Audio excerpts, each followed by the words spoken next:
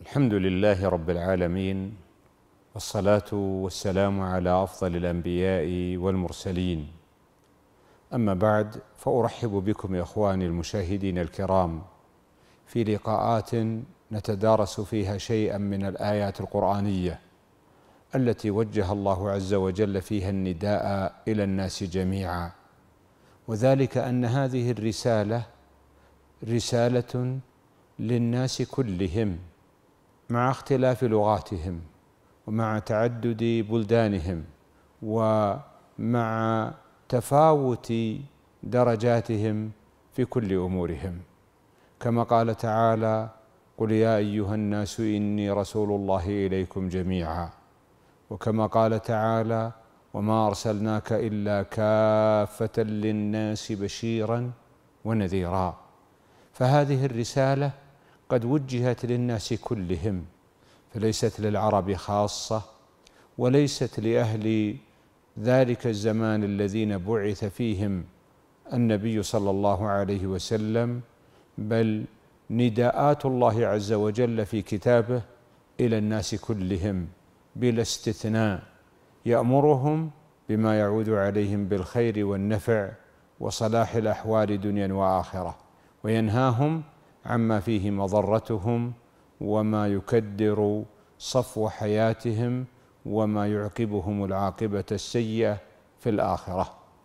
ومن هذا المنطلق جاءت فكرة هذه الحلقات التي نتدارس فيها الآيات القرآنية التي فيها نداء من رب العزة والجلال إلى الناس جميعا. وهذه النداءات التي ابتدأها الله عز وجل بحرف النداء يا أيها الناس. خطاب موجه لجميع البشر بل الصواب أنه موجه للإنس والجن أيضا. ما خطاب الله لنا؟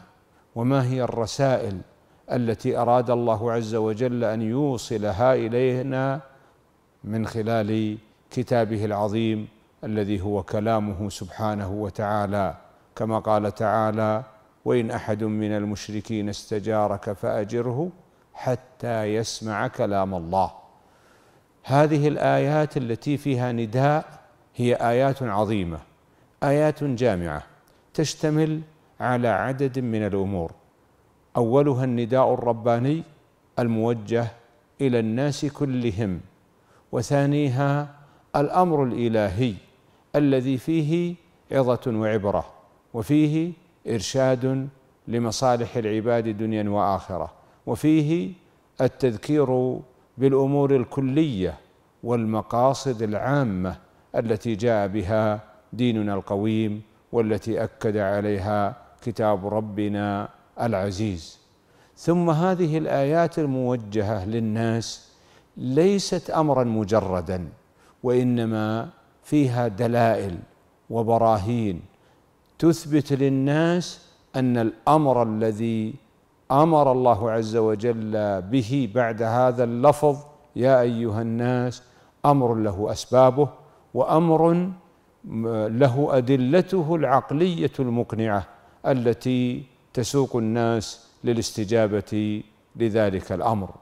هذه النداءات الإلهية الموجهة للناس بلفظ يا أيها الناس فيها معان عظيمة وفيها بلاغة كبيرة وفيها إرشادات تعود على الناس بالنفع ومن هنا فإن التمعن والتفكر في هذه الآيات مما يزيد الإيمان عند العبد ومما يدفع الإنسان للاستجابة إلى أوامر الله سبحانه وتعالى وفيها كليات الشريعة ومقاصدها العامة وفيها الأوامر التي تصلح بها أحوال العباد في دنياهم.